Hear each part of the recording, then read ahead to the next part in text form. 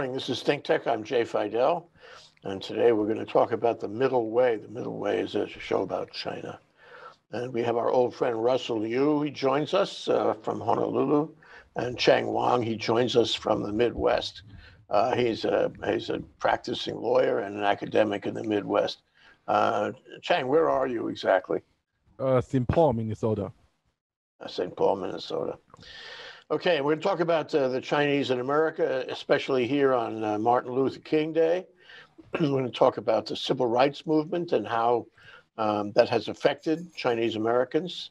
Um, and I suppose the history of uh, Chinese Americans in the United States, which is not so simple and not so pretty. Russell, you want to lead off, give us a little background?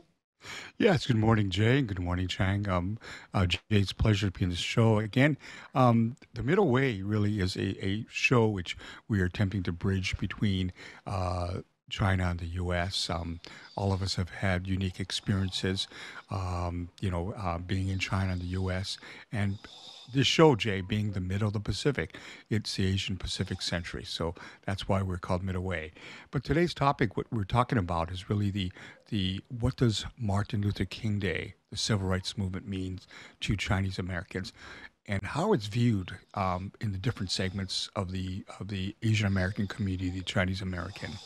And um, so we have a very, a very interesting discussion and viewpoint. And, and the overriding consensus we start off with, and I'll pass it back to Jay, is that, you know, um, th- this is Martin Luther King uh, Day today. And so it's really a mixed bag on, on how the Chinese Americans view um, the Martin Luther King Day and the civil rights movement. And it depends what generation you're in. Um, I was had a little quip with uh, uh, Chang Wang. We're talking about we have friends who are uh, first generation immigrants from China, as well as some of our Chinese academic scholars in China, the progressives who who all embrace Donald Trump. Uh, and who have very little knowledge of uh, the civil rights movement, and it's ironic. And and you know, let me uh, pass it to to Jay and then Chang. You can to to share some of the, the thoughts there.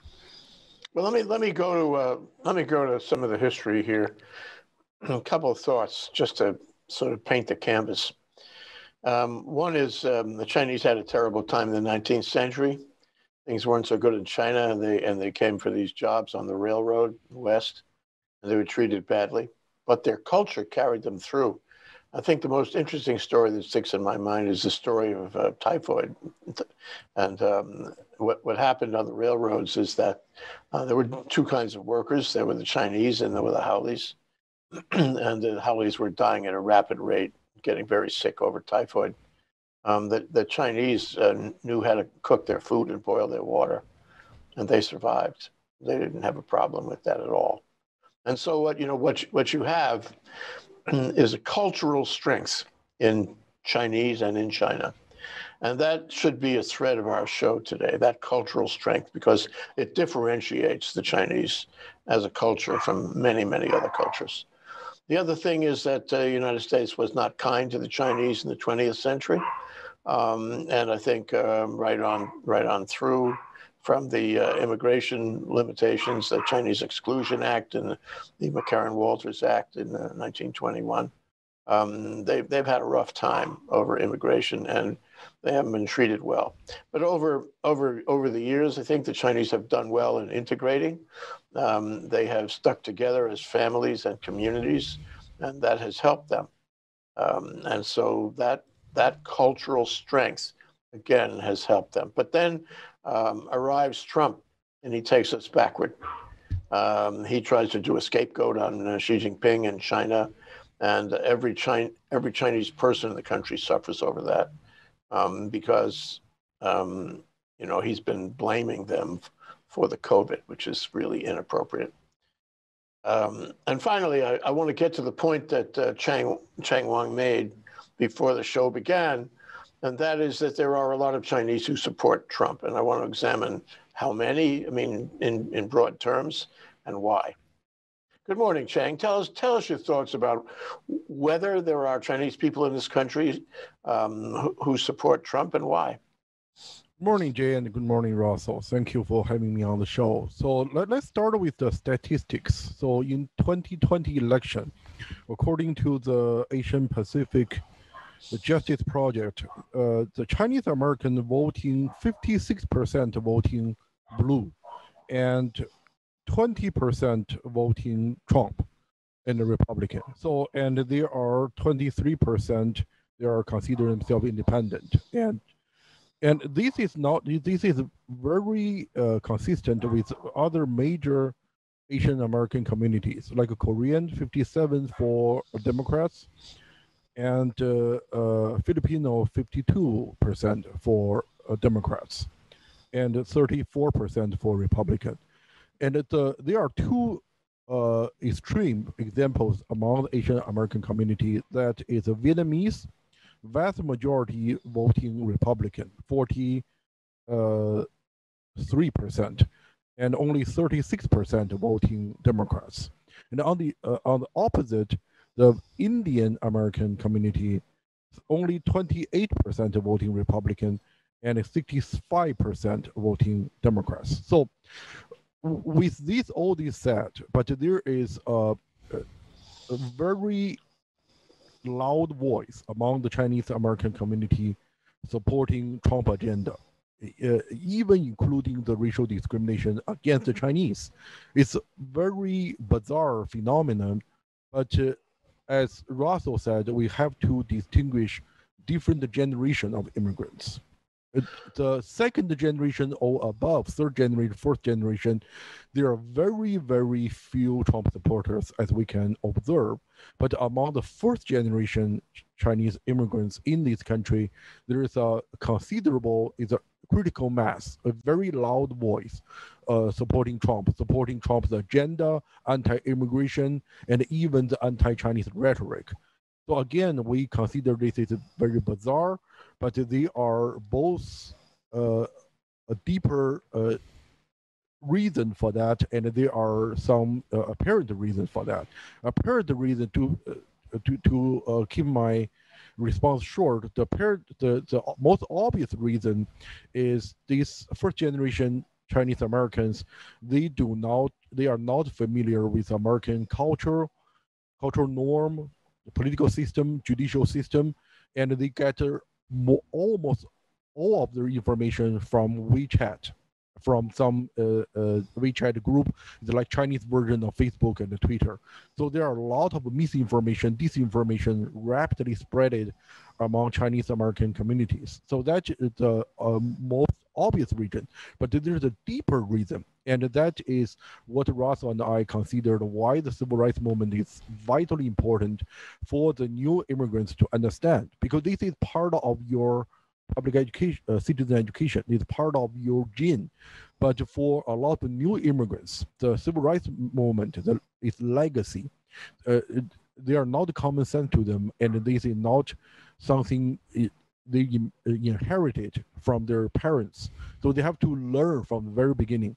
So that I really appreciate the opportunity to uh, have this conversation conversation on Martin Luther King Day. Yeah, well, it's important that we have this conversation today.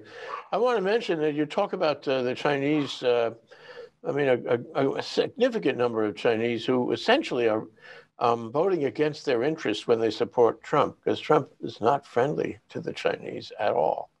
And he has created an environment in this country where if you walk down the street in you know dozens of American cities, um, you ask people, "What do you think of the Chinese?" They will come out with a negative remark, um, and they will, you know. Remember at the beginning when he was blaming them, nobody wanted to go to Chinese restaurant. Remember that? Mm-hmm. at the very beginning, and that was that was just a superficial kind of thing. But he's been he's been racist um, to so many races, including the Chinese, and it always amazes me that the Chinese will, or that any group like that will support him when he is working against them, and they are therefore working against their own interests. Another another group that falls that comes to mind is Latinos. A lot of Latinos support Trump but he, you know, he hates Latinos. He remember he's the guy that wanted to build the wall.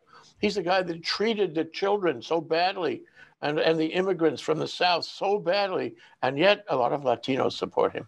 Uh, that's hard to understand. It's worth, you know, having another show on that point. But here we are on Martin Luther King Day, and I think what's interesting here is to compare, you know, the Chinese experience in the United States with the African American experience in the United States, then see what the similarities and differences are. And as you say, Chang, um, you know, what can we learn from all of that? We, we need to be aware of it. And the Chinese, as a, a parallel, you know, trajectory, they need to be aware of it. In fact, every minority group needs to be aware of it. All, let me say this, all minority groups need to be aware of, of, of racial um, preference, racial, um, you know, bias um, and prejudice against other minority groups. we, we can exactly. solve this problem. I don't understand why, you know, the schools have not helped us, but they have not helped us. Then we have a, a threat in American society that keeps on going. And uh, a guy like Trump just exacerbates it. So, Russell, can you help me compare the Chinese cultural experience? Both, both the Chinese who have lived in this country, you know, for 170 years. I mean, the Chinese came in 1850 or so to Hawaii, and probably earlier to the mainland. Um, can you help me understand the Chinese cultural experience and the cultural you know, um, uh, parameters, the cultural characteristics of Chinese living in the United States um, for a long time, as opposed to the African American experience, who have lived mm-hmm. in the United States for 400 years, mm-hmm. but they came as slaves. You talk about that? Mm-hmm. Well, I think Jay, that's a very good question. I think I think first I would look to the similarities a lot for the um, second, third, fourth generation uh, Chinese Americans who have grown up in the U.S. You know, actually, there's a lot of similarities in the history in the in the uh, the Chinese that came here really came uh, from China as indentured servants, as we know, uh, to build the railways, uh, to build to work on the plantations and and roughly, you know, if you read some of the actual uh, the actual diaries which I've read, uh, they were treated very very badly. They could not intermarry for one thing. They could not uh, bring. They didn't want to bring. Uh, they wouldn't allow Chinese women to come here.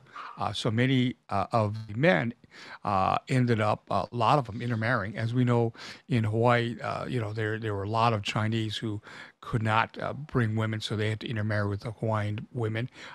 so that's a, that's part of the history where it's it's a lot of that shared background. Um, and you know many things happened along the way. They had uh, they were they were not allowed to vote. There uh, you know there many of their civil liberties that they did not have. Uh, and again, uh, so that's the that experiences that that Chinese Americans have, uh, the, the generations that have been here.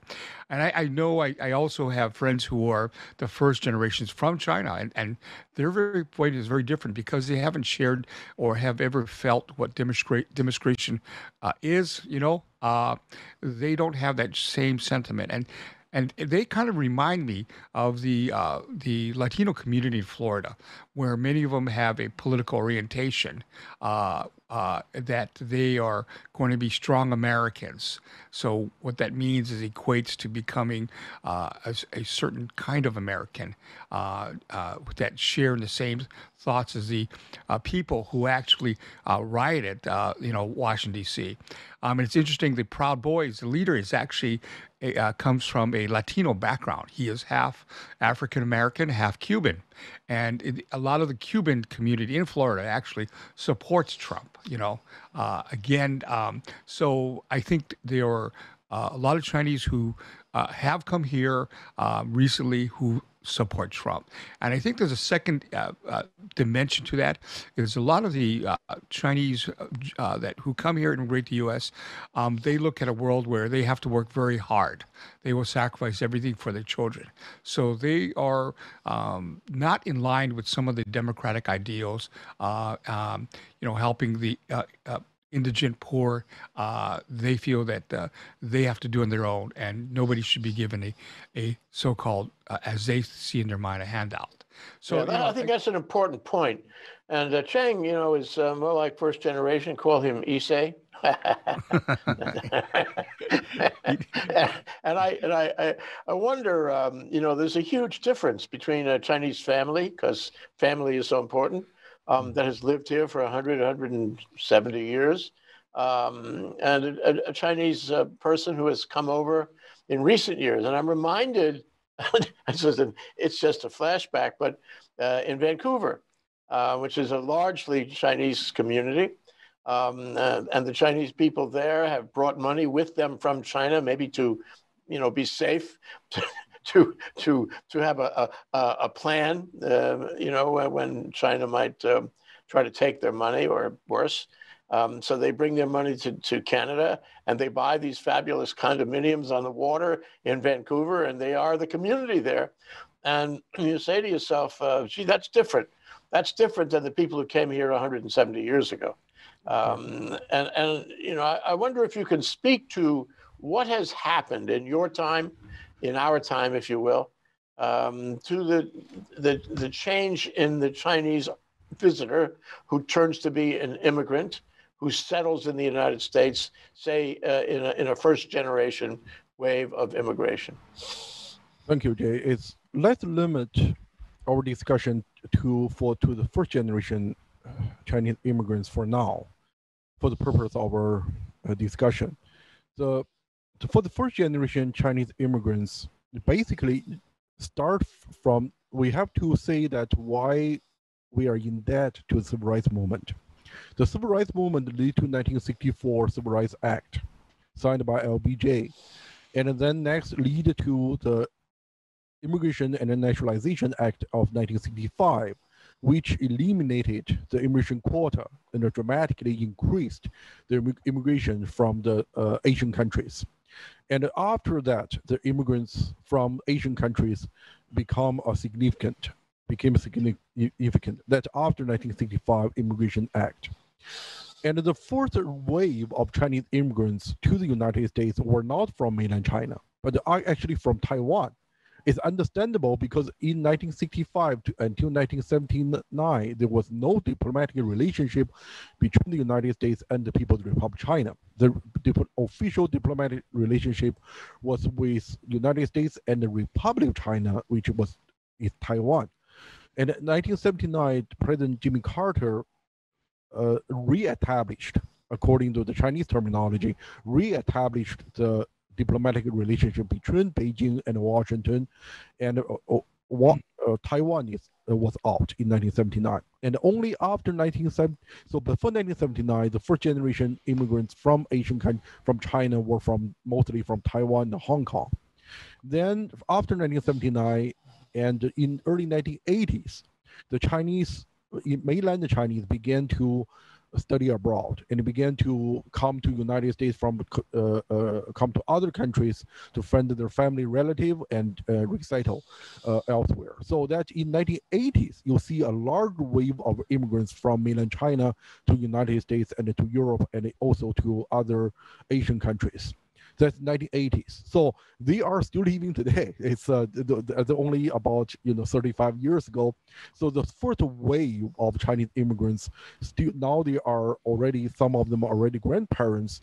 They are from mainland China. Those of they they share strikingly similar background most of them are academics and they come they came here to study uh, mostly at the graduate level yeah, that's that's a very important point. I should have made that point myself. Yes. Uh, a lot of the waves of immigrants from China over our lifetimes have been for academic purposes, for study, um, and um, in, you know, in, in various areas, but especially including science, but um, medicine, um, technology, and they've done very well.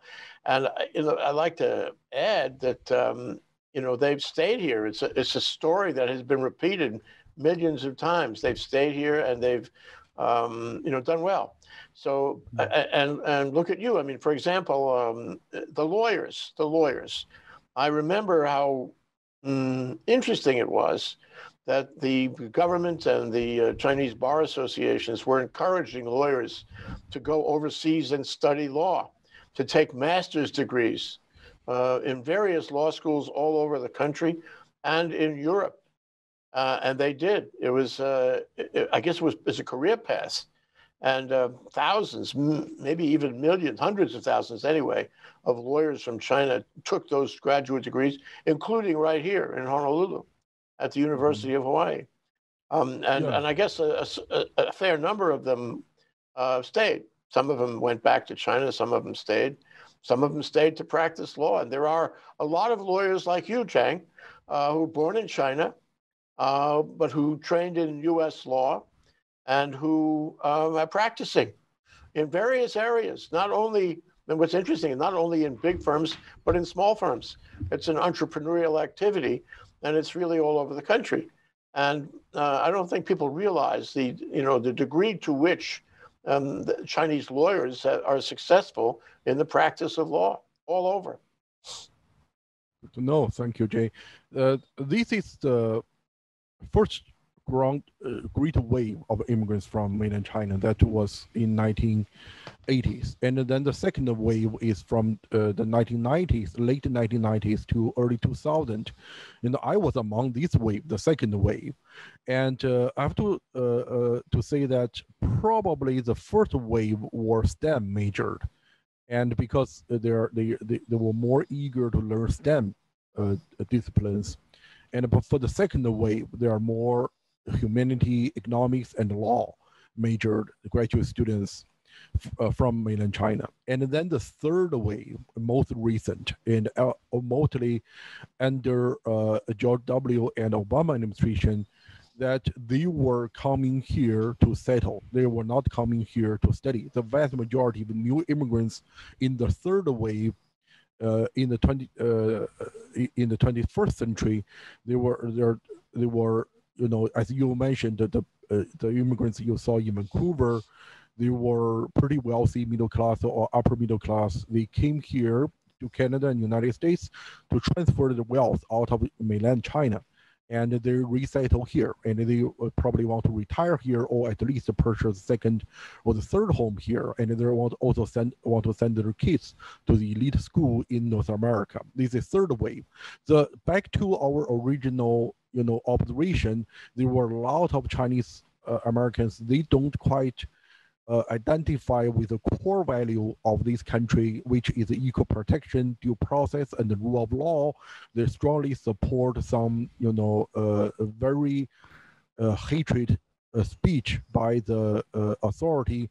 they were most of them, or from our own observation, all of them from the third wave of immigrants from the mainland. None of them, very few of them from the first gen, first wave or the second wave, who we came here to study and to to uh, view the United States as the beacon of the freedom of the uh, humanity and came here to identify with the core value of this country.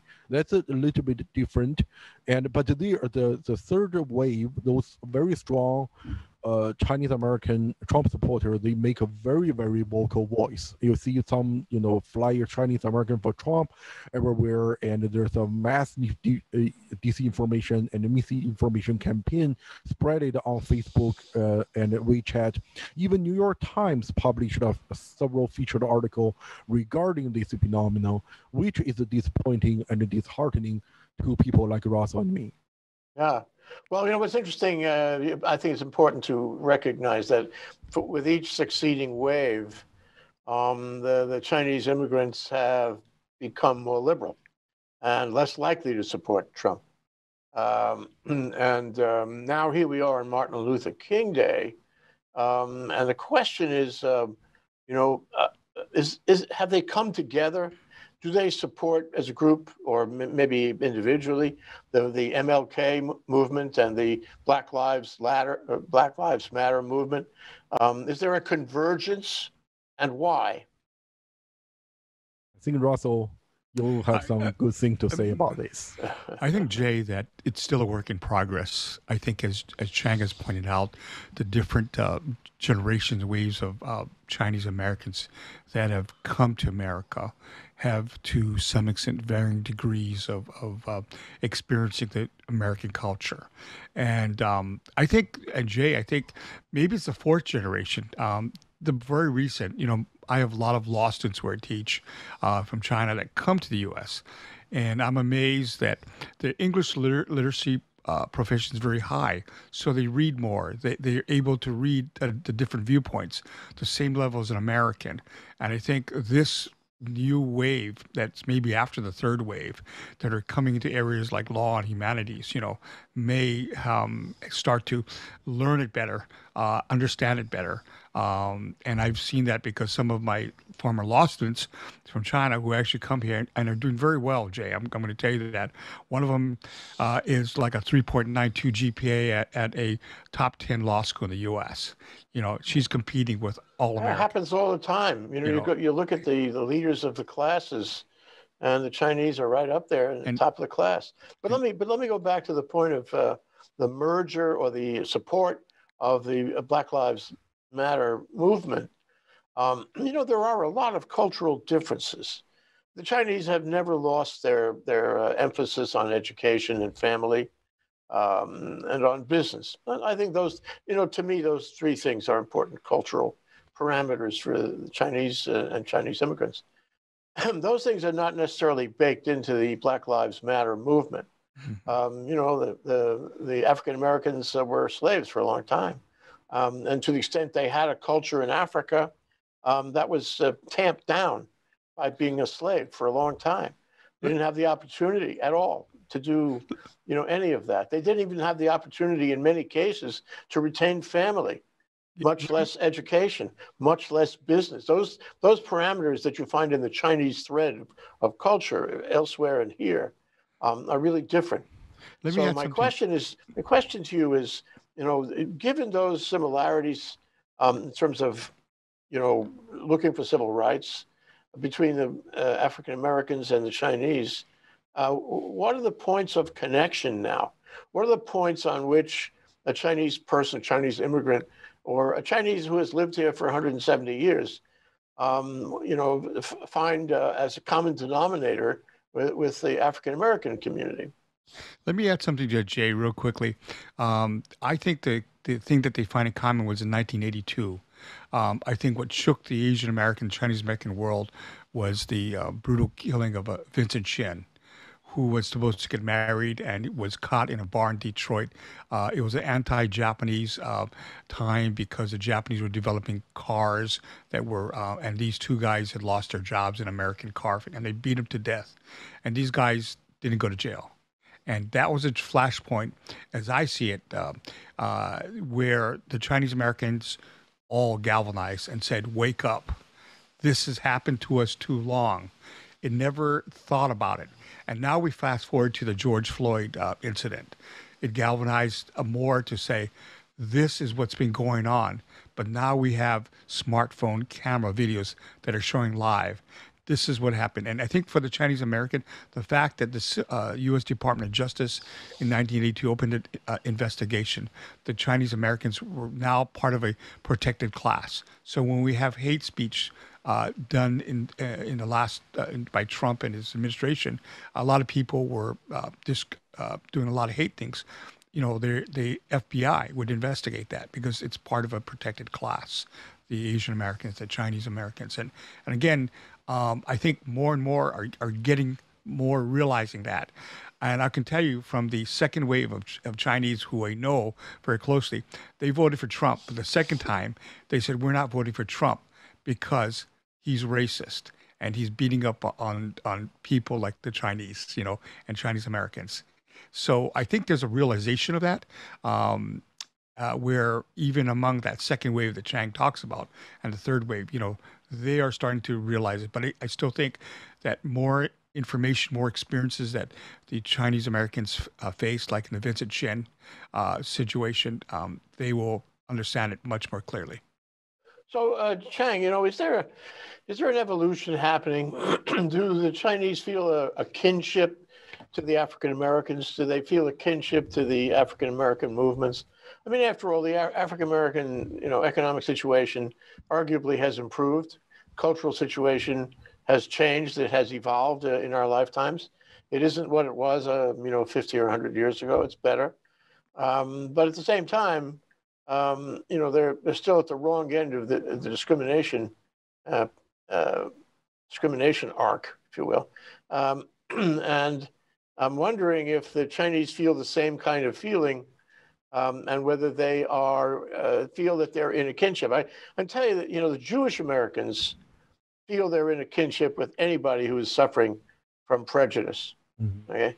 And, and, it's always been the case, and it's still the case today, as far as I know. Uh, so query whether that same phenomenon exists in the Chinese community vis-a-vis the African American community. Very well said. I think we are running out of time, but let's quickly respond. I do. I do a kinship to uh, all, all, the minorities and uh, uh, underrepresented class.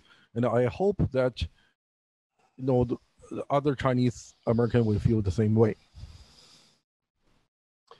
Okay, well, you're right, though. We're almost out of time, so I want you guys uh, to leave to leave some last words. Um, let, let's go to you first, Chang. Um, what what is your advice to the country, and especially to Joe Biden, on how to how to minimize um, or end this kind of racial prejudice we have seen uh, here on Martin Luther King Day? Um, and to the Chinese and I suppose uh, the African Americans and all of the minorities that have suffered at, at the hands of racial prejudice. What is your advice to the new administration? Well, I think that is a. Uh, I'm not sure I'm in the position to advise the new administration, but uh, I uh, do want the. Uh, I do hope the new administration will implement some, you know, regulatory policies to reverse the tremendous damage has been done in the past four years. And otherwise, I have total confidence in the new administration.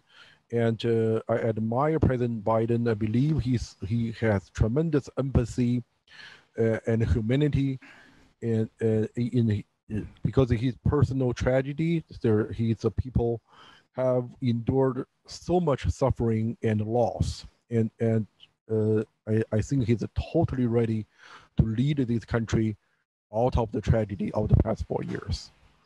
Yes, it has been a tragedy. Russell, let me reframe it a little bit for you to close. And that is, what advice would you give the Chinese community on, on how to look at this, all the generations? And what advice would you give the African American community? Uh, and is it different advice? Um, what should they be doing, thinking, aspiring to in the years to come? Well, I think the main important thing is we're all Americans, no matter if we have to endure some of these pains. I think we have to just to, um, reach out and, you know, uh, especially for the new immigrants from the Chinese Americans, that you're in the same lot with everybody else, um, and that we all have to um, kind of find common ground. Uh, you know, I think among Chinese, um, one thing that keeps them going, I would tell the African American community, is the culture. I think. Um, I think you raised that point earlier, Jay. I think the thousands of years of culture for the Chinese is survival. Um, and they survive by looking at things like education. Um, no matter if your generation suffers, you have to do it obligation for the child and you have to save all your money to put them to school maybe it takes two generation family households to put the child to higher education you do that uh, that's part of the survival. And I think I just read an article that came out this morning somewhere. It talked about um, the, the, whole fact is that as Americans, you know, um, the whole idea, even for the people who protested, they have to learn how to survive you know, how to survive in this world without um, doing what they did. And this whole thing about survival, it goes back to culture. And, and that makes re-examining maybe that we have to find something in our American culture to put us all together, um, to put us on the same page. And that's not going to be an easy job, but I think that's one of the things that Biden has to do. There's a, a little discussion on one of my TV channels the other day when somebody said, uh, you know, this is not who we are. This is not who the country is.